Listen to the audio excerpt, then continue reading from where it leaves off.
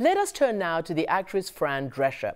She's best known for playing the iconic Fran Fine in the 90s hit sitcom The Nanny. Now she's back on our TV screens with the new comedy show Indebted, about two parents who move in with their son after blowing their life savings. Along with her comedy career, Drescher focuses her time on non-profit organization called Cancer Schmancer, which was founded in 2007 after she herself was diagnosed with uterine cancer. She talks to our contributor Ana Cabrera about advocating for healthcare and about her own harrowing sexual assault. Let's start with this new primetime show of yours, Indebted. Indebted. Tell us about it. Well, you know, it's a charming show about a loving family. Baby boomer couple goes bust and has to move in with their millennial son and his young family. And you're the baby boomer mom. Yes, of course. And so that's kind of the premise of the show. And it's a little bit of a role reversal because the parents are a little more of the adolescent and the uh, son is more of the parent. So it's who's the parent and who's the kid. And uh, it's, I think, a very interesting way to show the typical middle aged couple, the parent and grandparent, the matriarch of the family is. Um, you know, very loving but very immature, and uh, and there's three generations that you yes, to, to wears great clothes, lo loves spending money, loves giving away money to a fault. and well, we have a clip, so hold okay. your thought, and we'll discuss on the other side. Okay, great. Let's let's show it. I can't believe all this time you've had no money. Yeah, you should have just told us the truth. Remember how you lied to us about being gay for so long? You mean when I was in the closet? Yes. Now, why didn't you just tell us? Because I was uncomfortable and scared and confused. Exactly, like us. And so now we're coming out as broke. We're here, we're broke, get used to it. This is not the same situation. Everything's gonna be fine. We're gonna downsize and sell the house before we lose it. Yeah, we're hoping Davey will renovate our house as beautifully as he did yours, and then we can sell it for double. You're insanely talented. Everyone's talking about it. Do you have as much fun playing that character as it looks like? I do. I really enjoy it. I love playing immature people. I love playing lighthearted, loving people. I really, we laugh all the time on the set, and we're in gratitude that we have a job where we can be so, you know, uh, have so much fun. With a show like Indebted, is the goal just to make people laugh, to sort of be cathartic and escape from reality, or is it really to help people reflect on their own realities and their relationships and family dynamics? Well, in all of the shows that I ever uh, produced, like The Nanny, I always like to have a global message. And the global message of The Nanny was it doesn't matter what you look like or what you sound like, it's what's in your heart that counts. And every episode had to somehow speak to that global message. And when uh, we did uh, Happily Divorced, that global message was that everybody has a right to live an authentic life. And so every episode kind of spoke to that. Even subtly, it gives you a goalpost of, you know, what you're writing towards.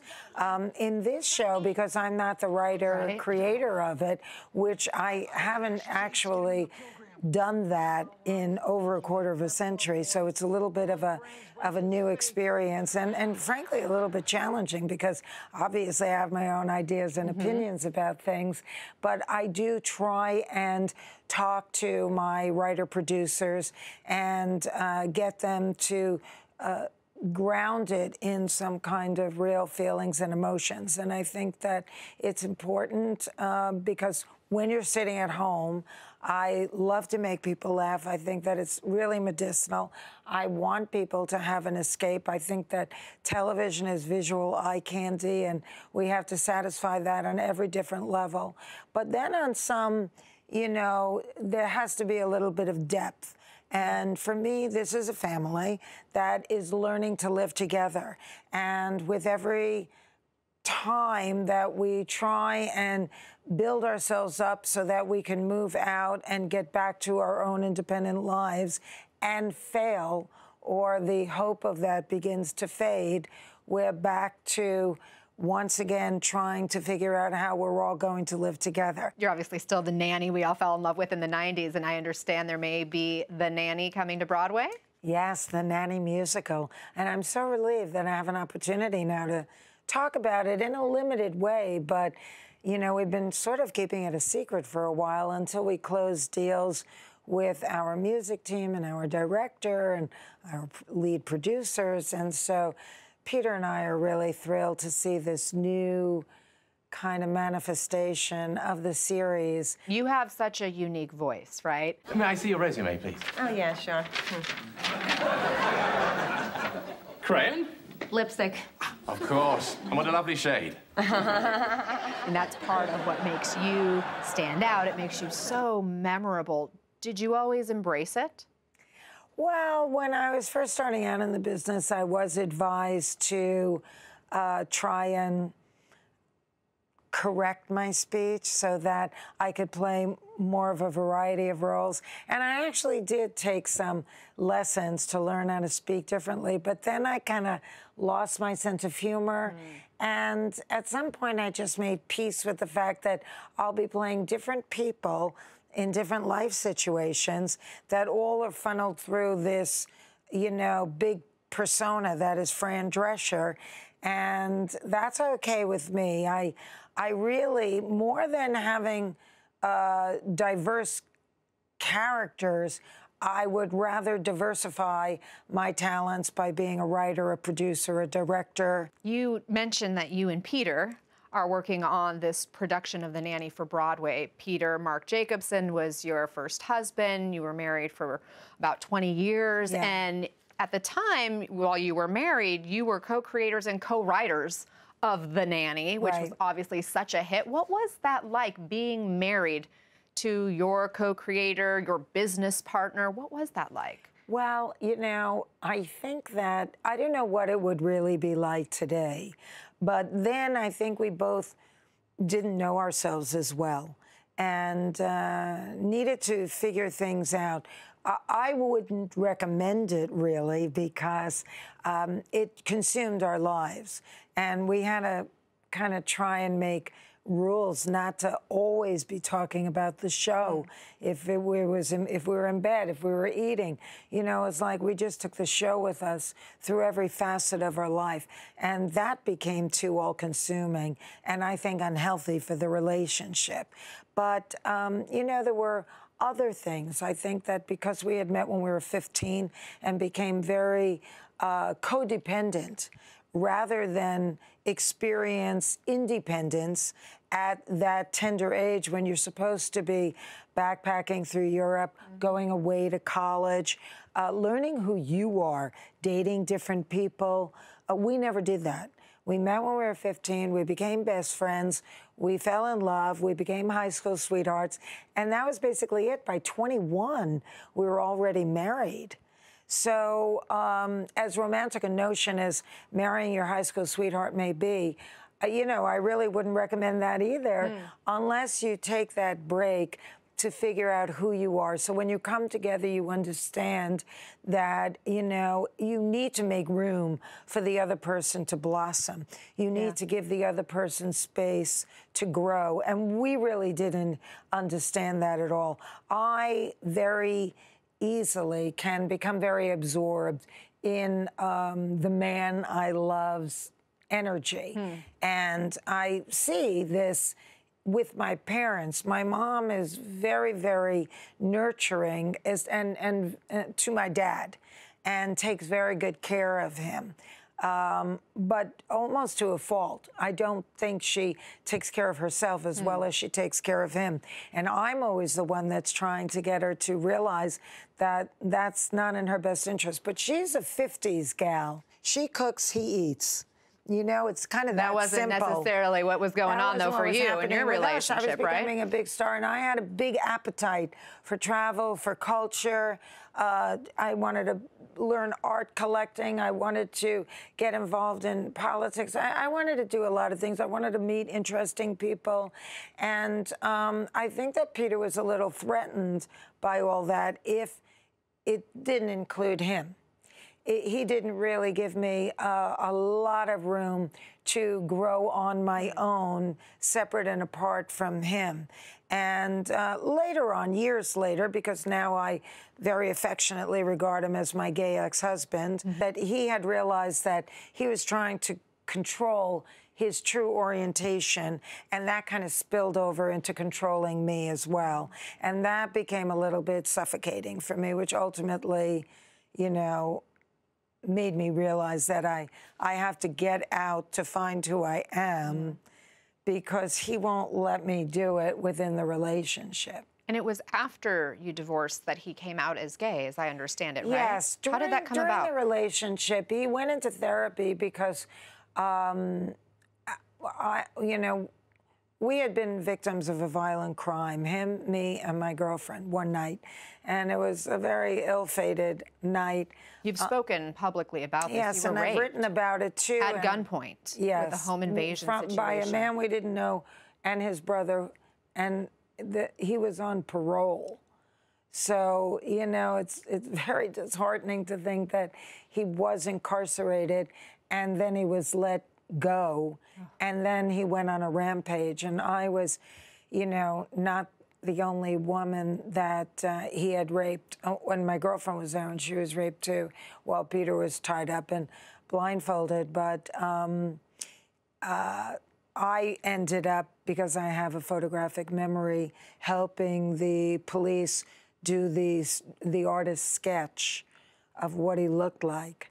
And uh, based off of that, they were able to apprehend him. And um, uh, I have at least the closure, which a lot of women sadly do not have, but I do, that, you know, he's locked away now for good and will never do that again. And, and I don't have to, you know, think I see him every time I turn a, cor- a corner.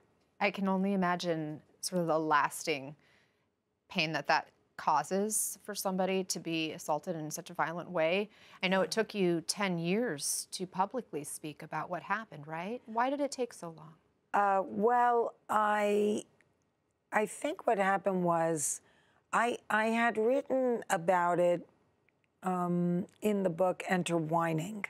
I wasn't really famous. It wasn't like anybody was that interested in what was going on in the life and times of Fran Drescher. Not until The Nanny. When I did The Nanny, I wrote what became the New York Times bestseller, Enter Whining. In that book, I wrote a chapter called Bad Things Happen to Good People. And I cannot tell you how many women have asked me to sign that chapter because it means a lot to them that somebody like me uh, could show that, you know, life can go on.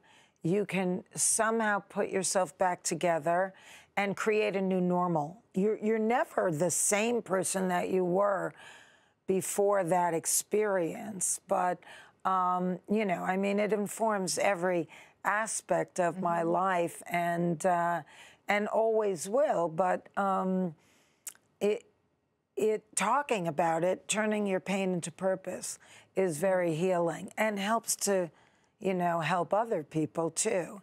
And, you know, the things that happened to me, I, I feel like I, I, I feel an obligation to talk about it publicly because I feel like I got famous first.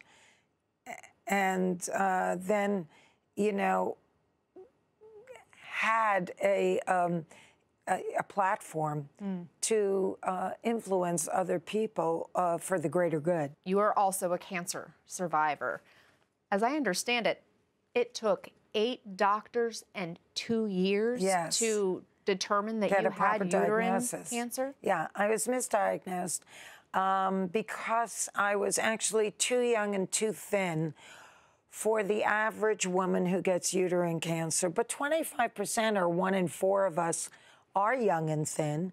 So it seems to me that, you know, uh, doctor number one, who said I was too young for an endometrial biopsy, should have just given it to me. It's a simple two minute test that she could have done in her office. But doctors tend to be bludgeoned by big business health insurance to go the least expensive route of diagnostic testing. And many of them subscribe to the philosophy if you hear hooves galloping, don't look for zebra, it's probably a horse. So, for all intents and purposes, it seemed like I was perimenopausal because I was kind of at the right age for that. But truth be told, um, I wasn't. I had cancer and I was being mistreated for a perimenopausal condition that I didn't have. And I started to realize that um, there are many um, grave illnesses that at the earliest, most curable stage, what I call the whisper stage, um, mimics far more benign illnesses. So if you happen to be dealing with a doctor who isn't trying to rule out the zebra because they're so convinced it's got to be a horse, then you're going to slip through the cracks. And I was lucky because even after two years and eight doctors, I was still in stage one mm. because uterine cancer happens to be very slow growing. I always say to people, save your Christmas Club account for uh, tests that insurance won't pay for because the best gift you can give your friends and family is a long and healthy life. And I know that that's the mission of your Cancer Schmancer Foundation is to help raise awareness. And you see, there was immediately after the cancer, silver lining started to kick in because I was still in this mode after the rape that I had to be the strong one and not really give in to my pain. I it was hard for me even to share it with my my parents. I had to have my sister tell them because I never wanted to cause them stress. It was so hard for me to tell them. I had her tell them. And then over the years between the rape and the cancer and frankly, I think part of the cancer was because I held in the pain from the rape. So it's almost poetic that I should get a gynecologic cancer of all of all things. But um, by the time I had the cancer, I had already been in therapy, very serious right. therapy, and I decided that should anything bad ever happened to me again, I'm going to handle it completely different. I'm going to talk about it. I'm going to ask people for help. I'm going to pick up that phone and have the courage to call my parents, no matter how heartbreaking it's going to be for it's them. okay to be vulnerable. I'm not going to pick up cigarettes again. I did that after the rape. I had quit smoking. That night, I started smoking again. And I thought, what am I doing? Mm. I'm hurting myself even more and using it as an excuse. But over the course of those, you know, 10 years, I had really grown a lot as a human being.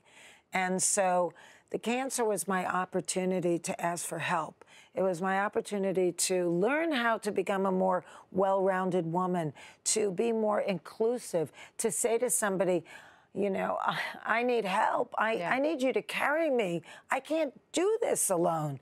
I never was able to say that ever. And I think so many women feel that way. You have to carry it all on your shoulders. You don't want to come across as weak. So you're giving everybody out there permission. Thank you for being very authentic and real with us. My pleasure. It's a pleasure to talk with you, Fran Drescher. Really Thank appreciate you. it. Thank, you. Thank you. you.